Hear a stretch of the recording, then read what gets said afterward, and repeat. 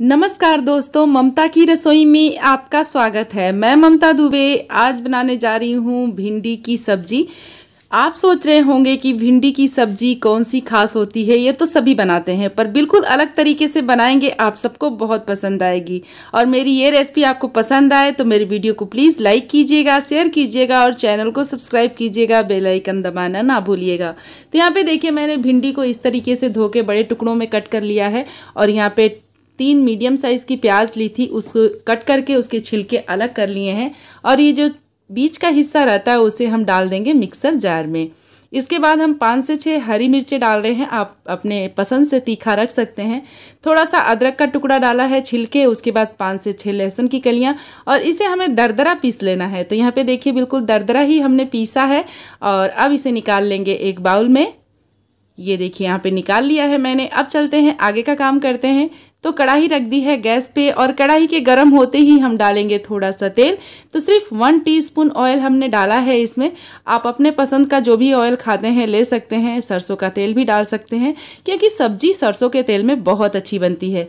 यहाँ पे देखिए जो प्याज की कलियाँ हमने प्याज से अलग करके रखी थी, उसे हम थोड़ा सा इस तरीके से भून लेंगे। बहुत ज़्यादा कलर चेंज होने तक नहीं भूनना है, बस हल्का सा भून लेना है। तो ये देखिए प्याज भून चुकी है तो मैं इसे अलग प्लेट में निकाल लेती हूँ। और इसमें बिल्कुल ऑयल वगैरह डालने की ज़रूरत नहीं है, जो इसमें तेल बचा है, इसी में हम डाल देंगे कटी हुई भिंडी। तो देखिए, भिंडी को इस तरीके से हमने बड़े बड़े पीस में काटा है। पहले भिंडी को अच्छे से वॉश करें और उसके बाद कॉटन के कपड़े से पोछ लें और फिर भिंडी को इस तरीके से कट कर लें। अब हम डालेंगे थोड़ी सी हल्दी। तो यहाँ पे थोड़ा सा हल्दी पाउडर मैंने इसलिए डाला है ताकि भिंडी का जो कलर है, भूनते वक्त चेंज ना हो और बहुत ही अच्छी दिखे भिंडी हमारी भुनने के बाद भी। तो यहाँ पे देखिए हमने डाल दिया है और अब इसे थोड़ी देर तक इसी तरीके से चलाएँगे और ढक के पकने देंगे। गैस की फ्लेम को मीडियम पे ही रखेंगे।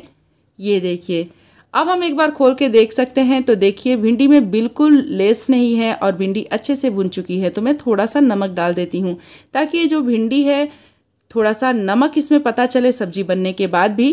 तो यहाँ पे नमक डाल दिया है, उसके बाद चला के मैं भिंडी को भी अलग प्लेट में निकाल लेती हूँ। तो ये देखिए यहाँ पे निकाल लिया है और अब डालेंगे टू टेबल स्पून ऑयल। थोड़ा सा जीरा डाल देती हूँ तड़के में और जीरा डालने के बाद मैं डालूँगी ये मसाला जो मैंने प्याज, लहसुन, हरी मिर्च पीस के रखी थी, उसे डाल दिया है और इसे डालने के बाद हमें बहुत अच्छे से इसे भून लेना है। तो गैस की फ्लेम को मीडियम रखेंगे और इसे बराबर चलाते रहेंगे। भिंडी की सब्ज़ी आप एक बार इस तरीके से बना लेंगे तो मेरा दावा है बार बार आप इसी तरीके से भिंडी की सब्ज़ी बनाएँगे। बहुत ही स्वादिष्ट सब्ज़ी बन के तैयार होती है और बड़े तो बड़े बच्चे भी भिंडी खाना शुरू कर देंगे। तो यहाँ पे देखिए, मैंने प्याज को भून लिया है, कलर चेंज हो चुका है तो मैं डाल रही हूँ हल्दी पाउडर। थोड़ा सा डालेंगे धनिया पाउडर और इसके बाद हम डालेंगे लाल मिर्च का पाउडर, क्योंकि हमने हरी मिर्च भी डाली है तो उसी के हिसाब से ही लाल मिर्च डालें। अब हम नमक डाल रहे हैं। नमक आप इस बात का ध्यान रखते हुए डालें कि जब हम भिंडी भून रहे थे तो उसमें भी थोड़ा सा नमक डाला था हमने। इसके बाद देखिए, इन सारे मसालों को हम एक मिनट तक इसी तरीके से भून लेंगे। बहुत देर तक भूनने की ज़रूरत नहीं है, नहीं तो मसाले जल जाएँगे। इसके बाद मैं डाल देती हूँ पीसा हुआ टमाटर। तो यहाँ पे दो से तीन टमाटर मैंने अच्छे से पीस लिया था मिक्सर जार में, उसे डाल दिया है। और इसे डालने के बाद हमें अच्छे से भुनना है, जब तक कि इसका कलर चेंज ना होने लगे। तो यहाँ पे देखिए, हमने थोड़ा सा नमक भी डाल दिया है। और नमक डालने के बाद हम अच्छे से भून रहे हैं, क्योंकि टमाटर डाला है, नमक डालने से टमाटर बहुत अच्छे से भुन जाएगा। तो यहाँ पे देखिए, इन सारी चीज़ों को बहुत अच्छे से भुनेंगे।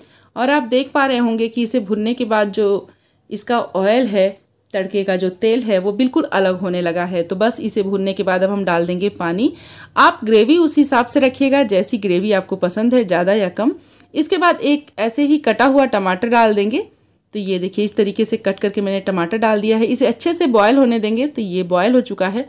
तो अब मैं डाल दूँगी ये भिंडी, भुनी हुई भिंडी मैंने इसमें ऐड कर दी है और इसे डालने के बाद अच्छे से चला लेंगे और सिर्फ़ ढक के इसे दो मिनट ही पकाएँगे, क्योंकि मैंने 80 परसेंट भिंडी पहले ही भून ली थी। अब देखिए, दो मिनट के बाद मैं खोल के इसे देख लेती हूँ। और ये हमारी सब्ज़ी देखिए, लगभग तैयार है। तब हम डालेंगे इसमें प्याज। जो प्याज हमने भून के रखी थी, उसे भी मैंने इसमें डाल दिया है और डालने के बाद अच्छे से मिक्स कर लिया है। ये देखिए इस तरीके से। यहाँ पे हम सब्ज़ी को बहुत ज़्यादा चलाएँगे नहीं नहीं तो ये जो भिंडी है वो टूट जाएगी।